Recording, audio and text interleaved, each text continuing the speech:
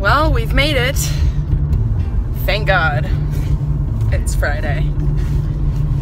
You make me feel so good.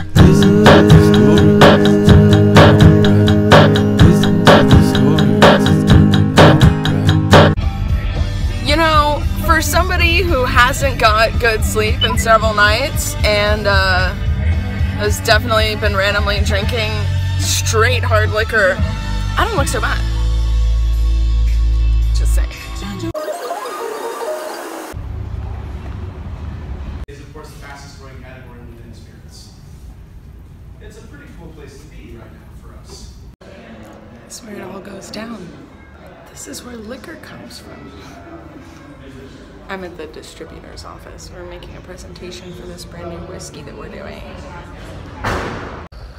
All right, now that I'm done with my first shift of the day, I'm gonna go pick up my mom and take her to a meeting for her insurance company. Um, I need to advocate in, for her in this meeting, so I'm just gonna take a second before I go over there to, to focus.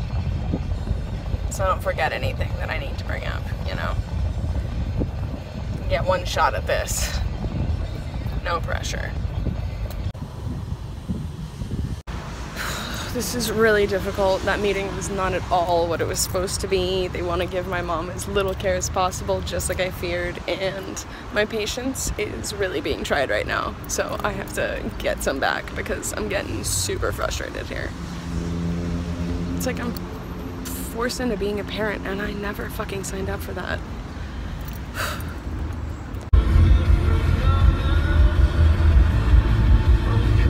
If I had gone on that trip to Europe, I would be in Europe right now and I would be putting all of this responsibility on my brother just by default. And I'd probably be really stressed out and nervous about it or really drunk so that I don't have to feel all of my feelings about it. Isn't that crazy? While it's nice that I can help my mom because I'm in town and I have some time and I can figure shit out, um,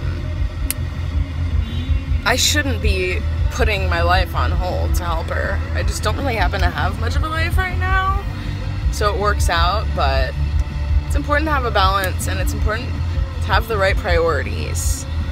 The health insurance company's priorities are all out of whack rather than them being focused on and not just the health insurance, but the health care. In my mother's case, she has health insurance that has like a designated hospital and it has its own. It's Kaiser, and they have their own doctors, their own hospitals, their own um, insurance. It's all in house.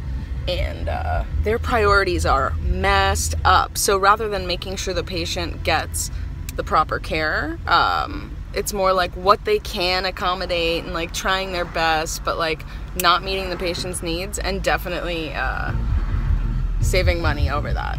So that sucks uh, a lot. I would not recommend their insurance for most people. I'm sure there are some people who this system works very well for, but uh, when a doctor expressly says that some a patient cannot be unsupervised and then the care plan that they come up with leaves them unsupervised? It makes no sense. Unless you're coming from a financial standpoint and that is their priority. I really need to make getting new work pants a priority. These white jeans do not fit me so they make me feel like really fat because I squeeze out of them. And the back pocket detail is disgusting. They're so ugly. This music is my favorite kind of music.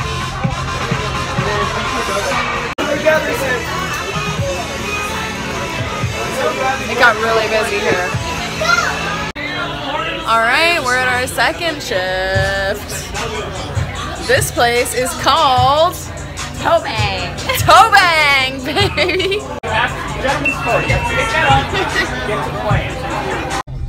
Oh my god, I can't believe I'm finally done running around today. Fuck. It's been a long one. I was at that first job at 9 a.m. and it's 10:30 now. All right, we're home, and I just ordered some delivery. Cause ain't nobody waiting for nothing to cook for an hour. And Uber Eats was having a promotion that I just couldn't resist.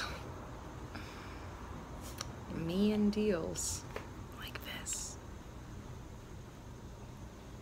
I'm that one. I'm the the wiggly one. The deal's like, yo, what's up? I'm chilling. I'm a deal, and I'm like. I mean, this looks pretty legit. Some eel up in that. Yellowtail. You make me feel so.